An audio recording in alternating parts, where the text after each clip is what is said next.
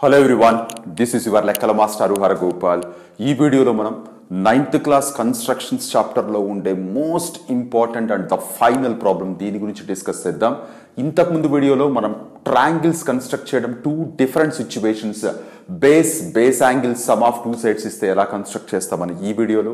అలాగే base base angle difference of two sides ఇస్తే దాంట్లో కూడా టూ కేసెస్ ఎలా కన్స్ట్రక్ట్ చేయొచ్చు ఈ వీడియోలో డిస్కస్ చేసాం ఇప్పుడు ఈ వీడియోలో triangle construction perimeter of triangle and two angles ఇచ్చినప్పుడు మనం ఎలా కన్స్ట్రక్ట్ చేస్తాం అన్నది ఈ వీడియోలో డిస్కస్ చేద్దాం.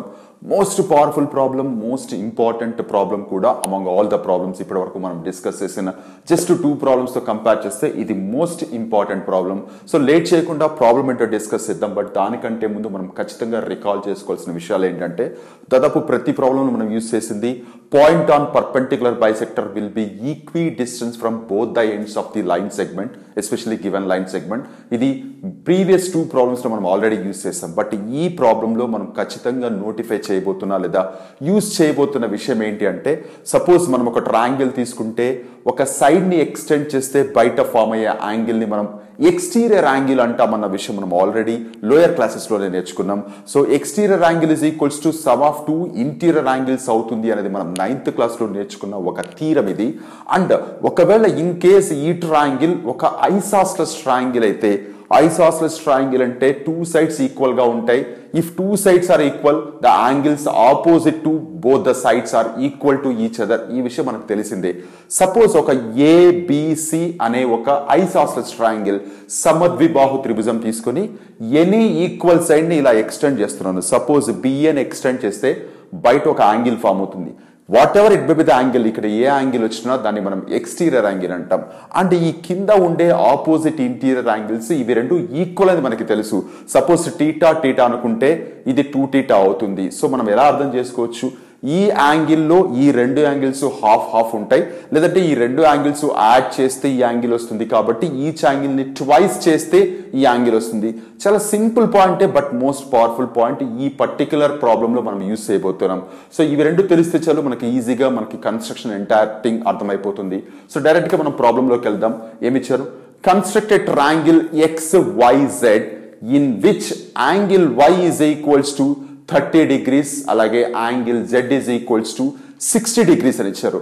సో థర్టీ సిక్స్టీ అని ఇచ్చి and XY plus YZ plus ZX is equals to ten centimeter కొన్నిసార్లు ఇలా సమ్ ఆఫ్ సైడ్స్ ఇవ్వచ్చు లేదు అంటే డైరెక్ట్గా పెరీమీటర్ అని ఇవ్వచ్చు అంటే చుట్టుకొలత అని ఇవ్వచ్చు. So constructed triangle X Y Z in which angle Y is equals to thirty degrees angle Z is equals to sixty degrees and the perimeter is 10 centimeter which is nothing but xy plus yz plus zx is equals to 10 centimeter.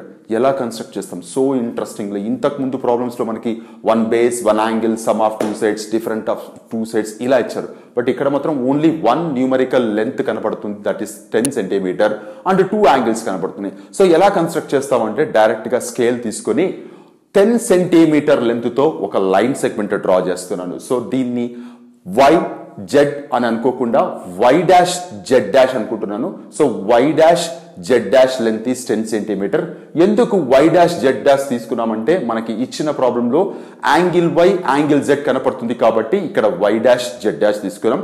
క్లియర్గా ఇది ten centimetre measure చేస్తున్నాను. ఇప్పుడు ఇక్కడ most important thing ఏంటంటే previous ప్రాబ్లంలో angle ఎంత ఇస్తే మనం అంత కన్స్ట్రక్ట్ చేసాం బట్ ఇక్కడ మనం ప్రాబ్లం అబ్జర్వ్ చేస్తే వన్ యాంగిల్ థర్టీ డిగ్రీస్ కనపడుతుంది అనదర్ యాంగిల్ సిక్స్టీ డిగ్రీస్ కనపడుతుంది. సో వాళ్ళు ఇచ్చిన యాంగిల్లో హాఫ్ ఆఫ్ ది యాంగిల్ మనం కన్స్ట్రక్ట్ చేద్దాం. ఏంటి సడన్గా హాఫ్ ఆఫ్ ది యాంగిల్ ఎందుకు కన్స్ట్రక్ట్ చేయాలని మీకు డౌట్ రావచ్చు బట్ మన జస్టిఫికేషన్లో ఎందుకు హాఫ్ యాంగిల్ తీసుకోవాల్సి వచ్చిందో నేను చెప్తాను. సో ఇప్పుడు థర్టీ డిగ్రీస్ అన్నారు కాబట్టి థర్టీ డిగ్రీస్లో హాఫ్ ది యాంగిల్ అంటే ఫిఫ్టీన్ డిగ్రీస్ కన్స్ట్రక్ట్ చేయాలి. వై డాష్ దగ్గర. సో ఇప్పుడు ఏం చేస్తున్నాను? వై దగ్గర కాంపాస్ నీడిల్ పెట్టి కన్వీనియంట్తో ఫస్ట్ ఒక ఆర్క్ డ్రా చేస్తాను. అలాగే కాంపాస్ని ఇక్కడ షిఫ్ట్ చేసి కట్ చేసి ఒక డాటర్ లైన్ వేసుకుంటే మనకి ఇది సిక్స్టీ డిగ్రీస్ రే అవుతుంది. బట్ మనకు కావాల్సింది థర్టీ డిగ్రీస్ కూడా కాదు. ఫిఫ్టీన్ డిగ్రీస్ కాబట్టి ఫస్ట్ ఈ సిక్స్టీ డిగ్రీస్కి జీరో డిగ్రీస్కి మధ్య యాంగులర్ బైసెక్టర్ వేద్దాం. సో ఇది థర్టీ డిగ్రీస్ అవుతుంది. కాంపాస్ తీసుకుని యాంగులర్ బైసెక్టర్ కన్స్ట్రక్ట్ చేస్తే థర్టీ డిగ్రీస్కి జీరో డిగ్రీస్కి మళ్ళీ యాంగులర్ బైసెక్టర్ కన్స్ట్రక్ట్ చేస్తే మనకు అది ఫిఫ్టీన్ డిగ్రీస్ రే అవుతుంది. సో ఫిఫ్టీన్ డిగ్రీస్ రే ఇలా ఎక్స్టెండ్ చేస్తాను. ఇక్కడ క్లియర్గా ఫిఫ్టీన్ డిగ్రీస్ అని రాసుకున్నాను. So what is this fifteen degrees? మనం కన్స్ట్రక్ట్ చేయాల్సిన యాంగిల్ వైలో హాఫ్ ఆఫ్ ది యాంగిల్. అలాగే angle Z is sixty degrees అన్నారు కాబట్టి జెడ్ డాష్ దగ్గర సిక్స్టీలో హాఫ్ థర్టీ డిగ్రీస్ కన్స్ట్రక్ట్ చేస్తున్నాను. సో కాంపాస్ నీడిల్ తీసుకొని ఇలా ఆర్క్ డ్రా చేసి ఆర్క్ మీద ఎక్కడైతే ఇంటర్సెక్షన్ పాయింట్ వచ్చిందో మనకి లైన్ అండ్ ఆర్క్ అక్కడికి కాంపాస్ నీడిల్ షిఫ్ట్ చేసి మళ్ళీ ఆర్క్ని కట్ చేస్తే సేమ్ రేడియస్తో మనకి సిక్స్టీ డిగ్రీస్ ఒక డాటెడ్ లైన్ ఫామ్ అయింది. మనకు కావాల్సింది థర్టీ డిగ్రీస్ సిక్స్టీలో హాఫ్ కాబట్టి ఈ పర్టికులర్ యాంగిల్కి యాంగులర్ బైసెక్టర్ కన్స్ట్రక్ట్ చేస్తున్నాను. సో రెండు పాయింట్స్ దగ్గర నుంచి ఆర్క్స్ వేస్తే మనకు ఒక ఇంటర్సెక్షన్ పాయింట్ వచ్చింది. ఇలా ఎక్స్టెండ్ చేస్తున్నాను. ఇక్కడ డ్రా చేసిన ఫిఫ్టీన్ డిగ్రీస్ రే ఇక్కడ డ్రా చేస్తున్న థర్టీ డిగ్రీస్ రే ఇవి రెండు ఒక పాయింట్ దగ్గర మీట్ అవుతాయి. ఆ పాయింట్ నే మనం ఎక్స్ అని డైరెక్ట్గా అనుకుంటున్నాం. ఎక్స్ డాష్ కాదు ఎక్స్ అనుకుంటున్నాం. సో మనకి ఇక్కడ X Y dash Z dash అని ఒక పెద్ద ట్రాంగిల్ కనపడుతుంది. In which base ten centimeter clear so ఇప్పుడు మనం ఏం చేద్దామంటే ఇక్కడ ఎక్స్ ఇక్కడ వై డాష్ ఈ పర్టికులర్ లైన్ సెగ్మెంట్కి మనం పర్పెంటికులర్ బైసెక్టర్ డ్రా చేద్దాం. సో కాంపాస్ తీసుకొని వై డాష్ దగ్గర కాంపాస్ నీడిల్ పెట్టి మోర్ దెన్ హాఫ్ రేడియస్తో బోత్ ద సైడ్స్ ఆక్స్ గిద్దాం. అలాగే ఎక్స్ దగ్గరికి షిఫ్ట్ చేసి కాంపాస్ని అదే రేడియస్తో ఈ ఆక్స్ని కట్ చేస్తే మనకి రెండు ఇంటర్సెక్షన్ పాయింట్స్ కనపడతాయి. ఈ రెండింటిని జాయిన్ చేద్దాం. ఈ రెండింటిని జాయిన్ చేస్తున్నప్పుడు ఎక్స్టెండ్ చేస్తే కింద ఉండే base Y dash Z dash ఏదైతే ఉందో దాన్ని ఒక పాయింట్ దగ్గర ఇంటర్సెక్ట్ చేస్తుంది. ఆ పాయింటే మనకి కావలసిన వై అక్కడ వై డాష్ ఉంది కాబట్టి ఇది వై ఇది వై అనుకుందాం. నౌ ద సేమ్ ప్రాసెస్ మనం ఎక్స్ అండ్ జెడ్ డాష్ కూడా కంటిన్యూ చేద్దాం.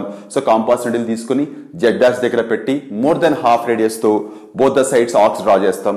అలాగే ఎక్స్ దగ్గరికి షిఫ్ట్ చేసి ఆక్స్ కట్ చేస్తే మనకి రెండు ఇంటర్సెక్షన్ పాయింట్స్ వస్తాయి. ఈ రెండింటిని జాయిన్ చేసి ఎక్స్టెండ్ చేస్తే బేస్ని ఒక పాయింట్ దగ్గర ఇంటర్సెక్ట్ చేస్తుంది.